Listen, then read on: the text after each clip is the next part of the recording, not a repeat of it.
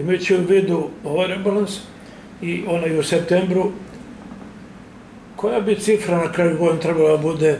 Grad Pirot je 2024. godine a, a, imao budžet od toliko i toliko. Pa vidjet ćemo, ja mislim da ćemo se Od tamo prilike.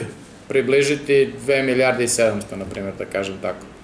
A ja se sećam kada je bivša načelnica koja je sada u penziji, koja je bila odlična načelnica za financije, Jagoda Šnele, meni govorila sanjam o tome da dođemo do 2 milijarde.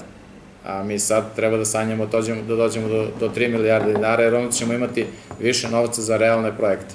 Kako plivaju rashodi u, u ovakvoj situaciji? Uh, Pa u prvoj polovini godine su uvijek rashodi nešto malo niži, zbog toga što smo pokrenuli mnoge javne nabavke i zbog toga što će ti radovi da se fakturišu u drugoj polovini godine. Dakle, u prvoj polovini godine vi pripremite projekte, uh, objavite javne nabavke, tendere i tako dalje, tako dalje, počnete i neke poslove, ali otprilike negde u drugoj polovini godine uh, dolaze ti rashodi na plaćanje, mi smo potpuno i likvidni i solventni, ako neko zna šta znači obično ti- kažete, danas na, na žiro računu imamo, A Danas na žiro računu imamo negde oko 470 miliona dinara. pamtimo ono 300 miliona Da, obično.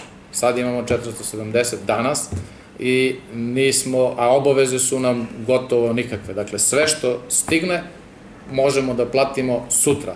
Iako nam je rok plaćanja 45 dana, dakle, mi ne čekamo te rokove i znaju izvođači radova i, i oni koji vrše usluge za grad Pirot i oni koji primaju novčane nadoknade od grada Pirota, da li su to nezaposlene majke, treće dete u porodici i tako dalje, vrtići, škole, da bukvalno danas kada podnesu zahtev za nekoliko dana, ako ne sutradan, za nekoliko dana dobiju uplatu na svom računu. duguje vaš holding nekome. Ne, nikome ništa ne dugujemo. I... Neko čeka da bude plaćen. Ne, rekao sam vam, dakle, sve rokove ugovorne poštujemo u dan ili pre toga. Kredite? Kredite nemamo nikakve, niti imamo razloga za kredite. Ja sam razmišljao o tome da možda uzmemo kredite za energetsku efikasnost, ali možda ćemo to raditi preko javno-privatnog partnerstva. Hoću, da predložim ljudima da proširujemo sistem javne rasvete i da u onim selima gde je ostala živina javna rasveta potpuno promenimo rasvetu.